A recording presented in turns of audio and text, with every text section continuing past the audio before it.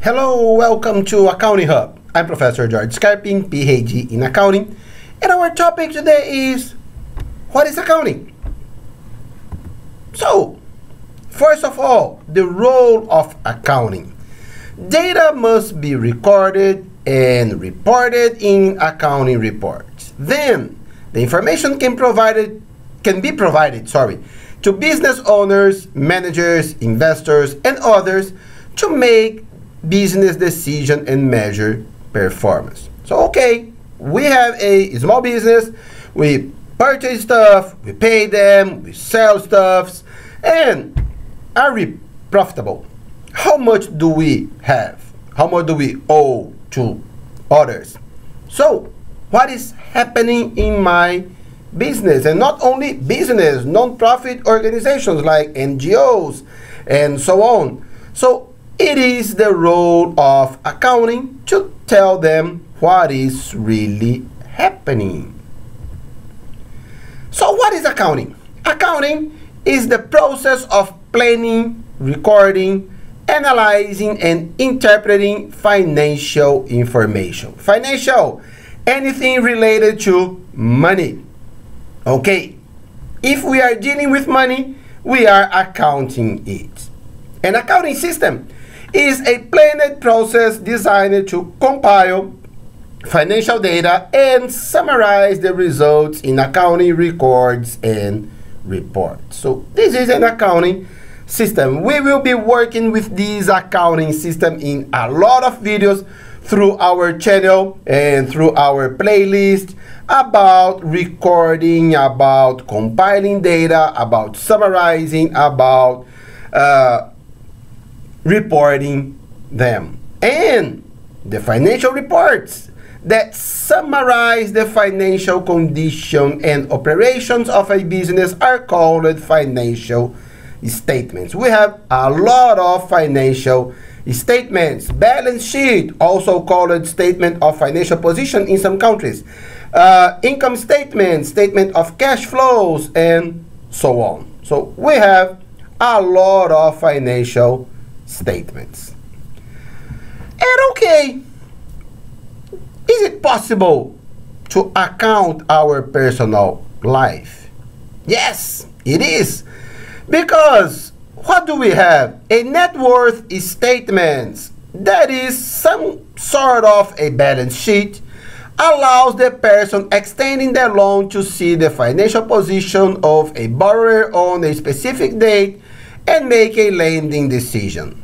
Anything of value that's owned is called an asset. And here, not only owned, but controlled as well. Sometimes we don't own it, but we control it.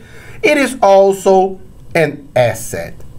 An amount owed is called a liability. We owe money to banks or to our uh, partners or anyone, uh, it is called a liability. Okay, for instance, we owe money to our supplier, we purchase stuff on account to sell it later, it is a liability. And then the difference between personal assets and personal liability is called personal net worth. It is for personal lives. In business, net worth is called equity.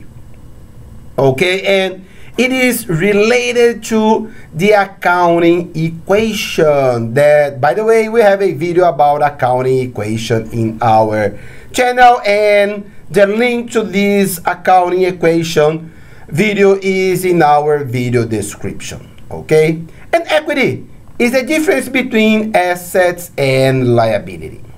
Okay. So, let's see it. Uh, Saida a net worth statement in September 27th of any random year. Assets, savings account, $2,000. Class ring, 250 So her total assets, 2,000 and a quarter, 2,250. Liability owed to parents, 50. Doesn't matter if she will pay them or not. Uh, she owed to Ace Electronics 125, so her total liability is 175. So the net worth is assets 2250 less liabilities 175. So the net worth is $2075. Okay, and if it was a company, it would be called a balance sheet or some sort of balance sheet. So total assets less total liability is equal to net worth, also known as equity in business. So here, one, total assets, two, liabilities, three, net worth. Okay, guys, and business ethics, the principle of right and wrong that guide an individual in making decisions are called ethics. And the use of ethics in making business decisions is called business ethics. It is about doing everything right. We need to pay attention on ethics in business in all of our accounting records as well.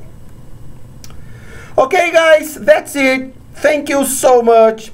Have questions, comments, and so on, leave it here or email me at jscarpin at gmail.com. And also like our Facebook page, Accounting Hub by Dr. Scarpin.